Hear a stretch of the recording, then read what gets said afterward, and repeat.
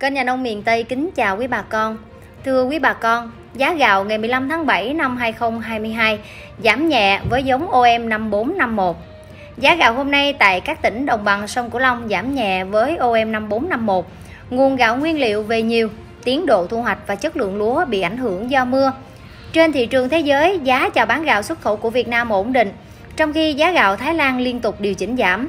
Cụ thể, hiện giá gạo xuất khẩu 5% tấm của Việt Nam ở mức là 418 đô, cao hơn 9 đô trên 1 tấn so với cùng loại của Thái Lan.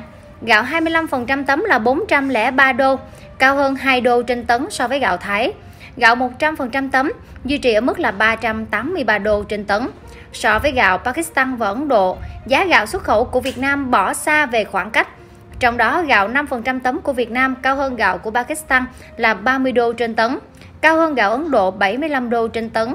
Gạo 25% tấm của Việt Nam cao hơn gạo Pakistan 35 đô trên tấn, cao hơn gạo Ấn Độ là 75 đô trên tấn.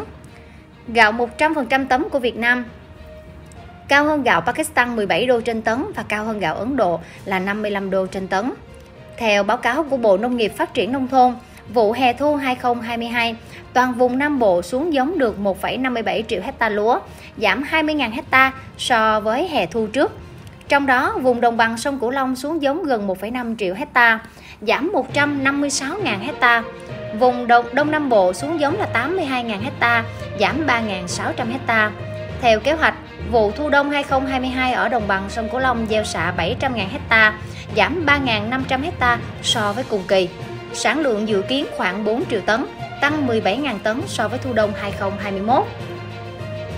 Giá gạo nguyên liệu và thành phẩm cụ thể như sau. Gạo IR50404 nguyên liệu là 8.350 cho đến 8.450 đồng. Gạo thành phẩm là 8.800 đến 8.900 đồng. Gạo OM 5451 nguyên liệu là 8.650 đến 8.800 đồng. Gạo thành phẩm là 9.400 đến 9.550 đồng. Gạo OM18 nguyên liệu là 8.900 đến 9.050 đồng. Gạo thành phẩm là 9.500 đến 9.600 đồng. Gạo đài thơm 8 nguyên liệu là 9.000 đến 9.150 đồng. Gạo thành phẩm là 9.700 đến 9.850 đồng.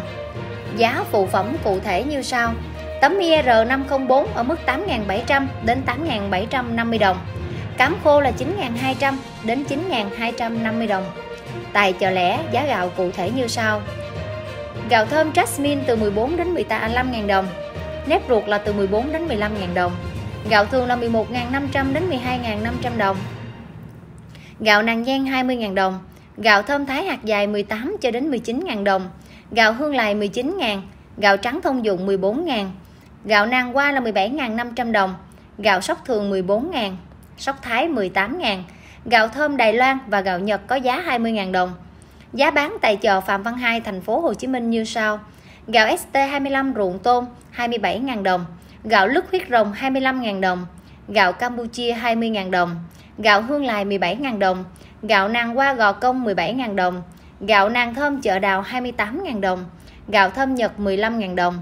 Gạo tài nguyên chợ đào 20.000 đồng. Gạo lài miên 23.000 đồng. Nếp ngỗng 25.000 đồng nếp Bắc 28.000 đồng. Giá mang tính tham khảo sẽ có sự chênh lệch nhất định tùy theo mỗi khu vực nha bà con. Cảm ơn bà con đã theo dõi kênh Nhà nông miền Tây. Hãy nhớ nhấn nút đăng ký kênh cũng như có thể bình luận trực tiếp vào kênh nha bà con. Kính chúc bà con thật nhiều sức khỏe. Xin kính chào.